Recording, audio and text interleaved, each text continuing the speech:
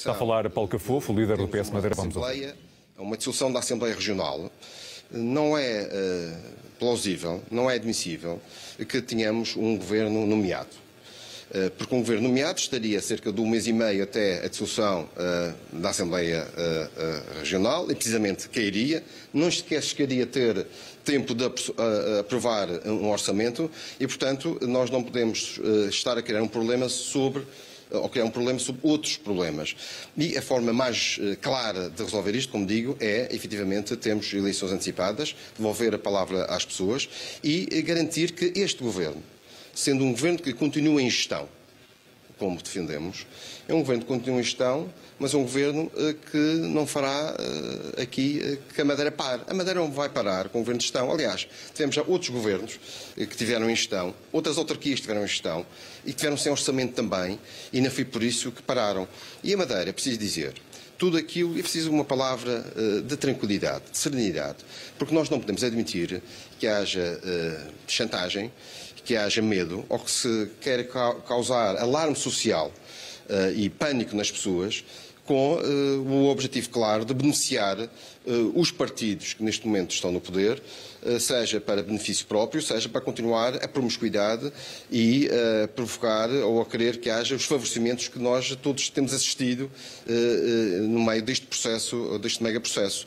E, portanto, a, a região, a região a chantagem, a chantagem, e vou já concluir, nós não podemos admitir que aqui se lance para a opinião pública dizer que a Madeira vai parar, em que as pessoas não vão ter salários, não vai haver reformas para as pessoas, as obras vão todas parar, está comprometido o PRR, está comprometido os fundos comunitários. Não.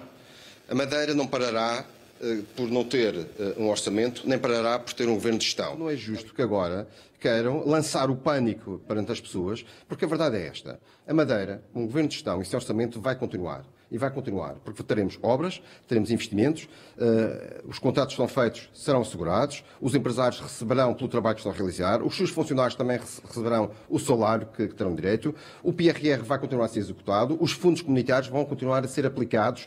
Ninguém, seja do setor privado, empresários e trabalhadores, seja da administração pública regional, será prejudicado. E, portanto, uh, naquilo que nós desejamos, porque é a única forma que nós desejamos, diga, a Madeira toda deseja os madeirenses e os portugueses desejam é que haja efetivamente eleições antecipadas. A única solução de clarificar é devolver a palavra ao povo para normalizarmos a vida política na região. Estaria a fazer eh, contactos com outros partidos. Esses partidos vieram aqui. É uma clara estratégia, é uma clara estratégia, obviamente, eh, de chantagem, de provocar o medo, o pânico. Uh, porque, mas, mas estratégia para se manterem no poder? Claro, claramente. Repare, o PSD, o PPD-PSD está agarrado ao poder está agarrado ao poder por duas razões. Uma é que quer manter os interesses e esta promiscuidade tem existido entre o governo, o partido e alguns interesses privados. Outra é que tem medo que saibam ainda mais podres.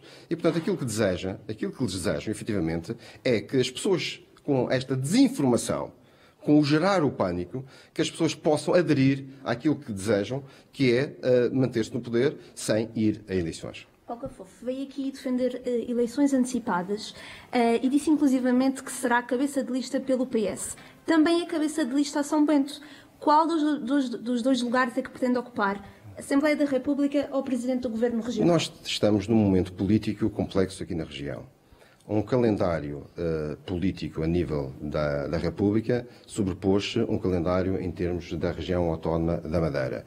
E eu aqui sempre disse que darei a cara pelo partido e darei a cara pela minha terra. Aliás, disse, quando me candidatei à liderança do Partido Socialista, longe de pensar que teríamos este quadro que estamos todos a viver, que a Madeira era a causa da minha vida. E acredito que a Madeira também é a causa de todos os madeirenses, é por isso que, obviamente, então, lutarei, lutarei, lutarei, lutarei, lutarei, lutarei, obviamente, por, em qualquer posição, lutar pela minha terra e lutar pelos madeirenses portantenses. Então, é, Muito obrigado. Alguns partidos da oposição acusaram de aproveitamento político desta situação. Não, repare, uh, para terminar esta nossa conferência de imprensa e respondendo de forma muito direta e clara à sua questão, os meus adversários não estão nos partidos da oposição. O Partido Socialista, com a minha liderança, terá sempre uma uh, forma, ou terá sempre uma postura de diálogo uh, com todos os partidos que, do, do aspecto democrático, queiram, queiram o melhor para a nossa terra e queiram mudar a nossa terra para não termos a promiscuidade que temos tido ao longo destes 50 anos, em que um regime tem favorecido alguns e tem retirado oportunidades a outros madeirenses. E aquilo que eu quero é que tenhamos uma região onde todos os madeirenses tenham as mesmas oportunidades.